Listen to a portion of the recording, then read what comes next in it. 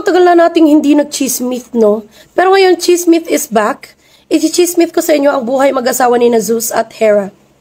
Si Hera ay ang third wife ni Zeus. Bagamat magkapatid sila, wala namang kasing konsepto ng incest sa Greek mythology, kaya allowed sila na asawahin ang kanilang tiyahin, ang kanilang tiyuhin, ang kanilang mga kapatid. Ito ay para di umano ma-maintain ang divine hierarchy and power structure ng kanilang pamilya. Ganyan. So paano nga ba nagsimula itong sina Zeus at Hera? Nung matapos na ang turn ni Themis as the second wife of Zeus, dali-daling naghanap itong si Zeus ng kanyang bagong mapapangasawa at ang una niyang nakita ay si Hera na nagpapahinga sa Garden of Hesperides. Ang Garden of Hesperides ay bantay sarado ng mga Hesperides na mas kilala bilang uh, the Daughters of the Night or the Nymphs of the West.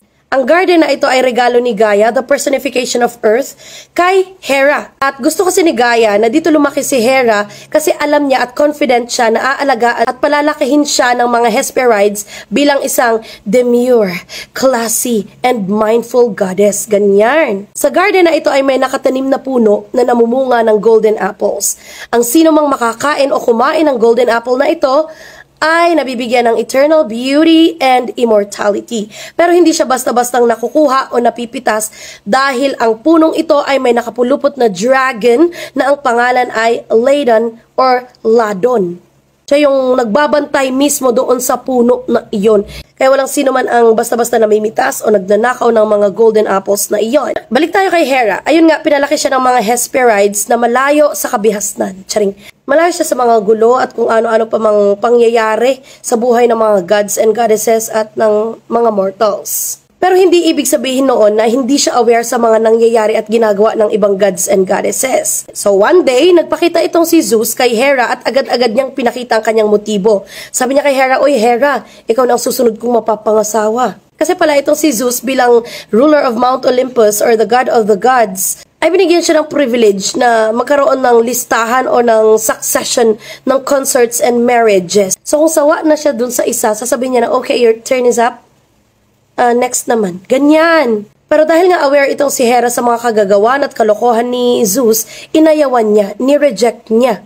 Hindi niya ito pinansin at sinabihan niya pa ng, Oy, wag na wag kang lalapit sa akin ha. Kahit anong mangyari, wag na wag kang lalapit sa akin dahil ayoko sa'yo. Pinalaki ako ng tama inalagaan ako tapos sa'yo lang ako babagsak. No way. So ilang beses nga niyang ni-reject itong si Zeus. Ito naman si Zeus, habol ng habol ng habol. Naisip niya na, she may not like how I look.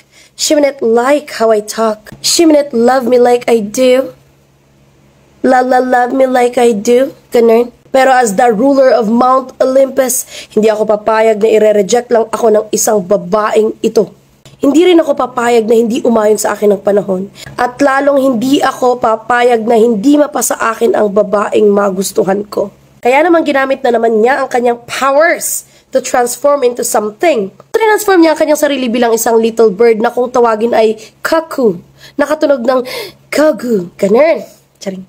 Tapos bilang God of the Sky, ginamit na naman niya ang kanyang power para magpaulan ng napakalakas. So nakita ni Hera yung kako na pabagsak mula sa kalangitan na uh, lamig na lamig, uh, kawawang kawawa, ganyan, hinang-hina. At bilang si Hera ay maawain, kinuha niya, gamit ang kanyang palad ay kinuha niya si Kako Bird. Ang ginawa niya sa Kako Bird ay nilagay niya sa kanyang chest para makaramdam ang Kako Bird ng heat. Siyempre, itong Kako Bird na ito ay, ay, nagkindat-kindat man. Kaya naandun na siya sa chest ni Hera at bigla siyang nag-transform. Ulit, bilang si Zeus. At ang sabi niya, ah, gotcha, Hera, hindi ka na makakatakas. Ngayon, kailangan na nating magkaroon ng union. Ikasal na tayo. In short, wala nang nagawa itong si Hera at nagpakasal nga sila ni Zeus. Ang kanilang kasal ang maituturing na pinaka-engrandeng kasal sa kasaysayan ng Mount Olympus. Di umano, sa Greek mythology ito ha. Kinilala si Hera bilang Queen of the Gods. Binigyan din siya ng title as the Goddess of Marriage kasi kahit ilang beses siyang lokohin at uh, pagtaksila nitong si Zeus, tinatanggap pa rin niya ng tinatanggap ng tinatanggap at nananatili siyang nasa tabi ni Zeus. Kilala itong si Hera bilang isang selosang asawa at lahat ng nagiging jubet nitong si Zeus ay pinaparusahan niya. Kine-curse niya. Malalang malalang curse. Sa mga susunod na episodes ay pag-uusapan natin kung ano nga bang klase ng curse ang binigay niya dun sa mga Jobet ni Zeus. At anong klaseng martyrdom naman ang ginawa niya bilang siya ang goddess of marriage.